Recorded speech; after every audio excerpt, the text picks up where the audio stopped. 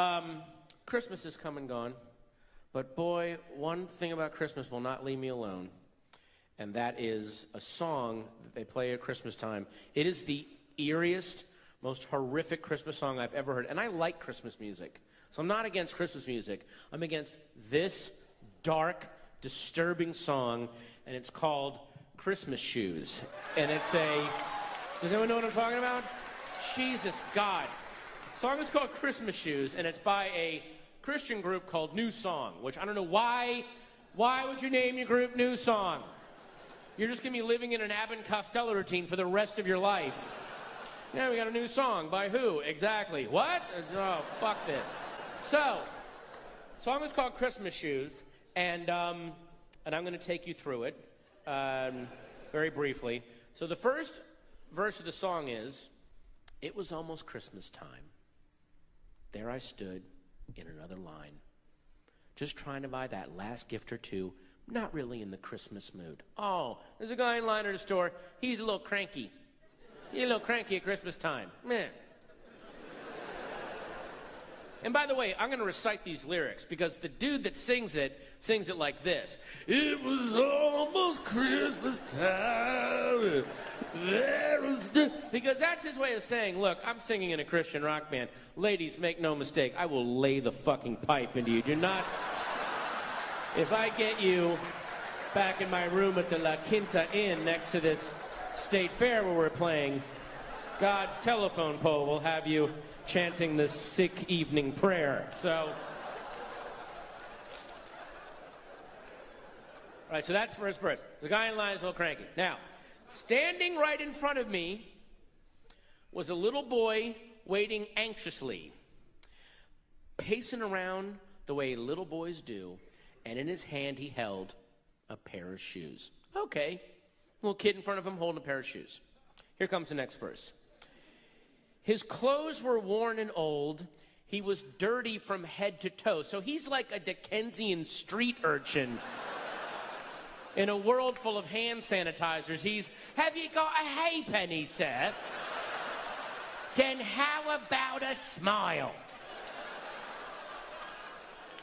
And when it came his time to pay, I couldn't believe what I heard him say.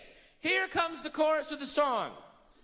Chorus starts off pretty good, then it takes a hard left turn into Assholeville. So hang on. Get your seatbelts on.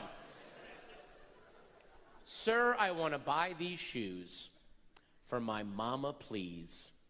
It's Christmas Eve, and these shoes are just her size. That's sweet. He's buying shoes for his mom. That's really nice. Hang on. Could you hurry, sir? Daddy says there's not much time. She's been sick for quite a while, and I know these shoes will make her smile, and I want her to look beautiful if Mama meets Jesus tonight. What? The kid's mom is dying.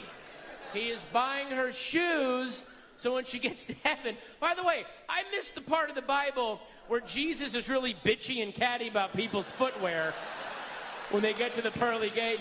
You're not getting into heaven in those, honey. No, I'm sorry.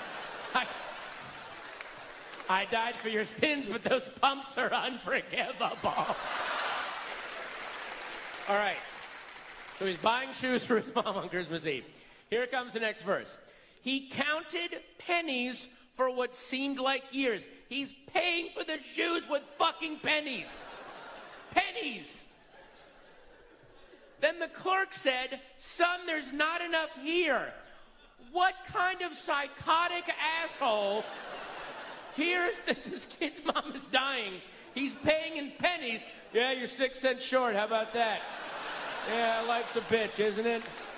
That's not our policy here at Fashion Bug. I don't know what to tell you. That six cents comes right out of my paycheck. I can't, I can't help you. And then, I'm not going to recite the rest of these goddamn lyrics. The little kid turns around to the guy in line and goes, I don't know how I'm going to buy these shoes. Which now it starts to sound like a scam. Like maybe the guy, the grouchy guy in line, pays for the shoes and the kid is happy and he runs out of the store. Now we get to the bridge of the song. The bridge will make you lose all hope that we live in a just or sane universe. Here it comes. I knew I caught a glimpse of heaven's love as he thanked me and ran out. I knew that God had sent that little boy to remind me of what Christmas is all about. Let's review. There's a guy in line. He's a little cranky on Christmas. God looks down and sees this. Somebody in a bad mood on my son's birthday? Bullshit. Give that kid's mom cancer. Make sure he's in front of him in line. Make him seven cents short for the shoes. This guy will buy them, and he'll be in a good mood. I almost feel like Jesus is behind God going, I don't think we need to give a kid's mom. Kid, you shut the fuck up. It's gonna be the best birthday you ever had. It's gonna be the best birthday you ever had. Merry Christmas. Good night. Thanks again, listener. Thank